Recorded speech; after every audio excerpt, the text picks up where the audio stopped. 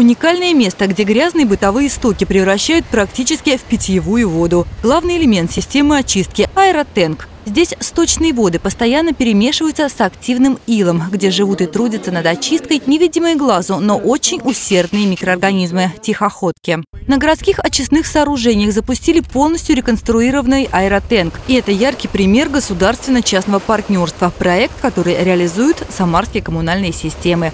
Модернизацию систем водоснабжения и водоотведения Самары за три года СКС уже вложили 1 миллиард 280 миллионов. Чтобы не загрязнять нашу природу, чтобы оставить нашу страну нашим детям и внукам чистым, необходимы, необходимы новые очистные сооружения. И в городе Самаре они появились, и это, это большой успех и для Самарской области, и для всей страны.